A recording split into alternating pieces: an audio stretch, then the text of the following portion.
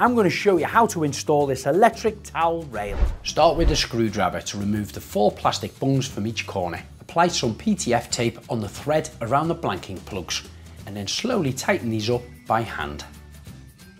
Mix your inhibitor with clean water and then pour this through a funnel into the radiator. Measure up for your brackets, fix these onto the back of the radiator. It's important to check behind the tiles with the detector to see that there are no pipes or wires there before you start drilling holes. Once you've drilled your holes in the correct position, apply your plug and screw the brackets firmly to the wall. Mount the radiator into position. Using a screwdriver, tighten up the screws on the back of the brackets.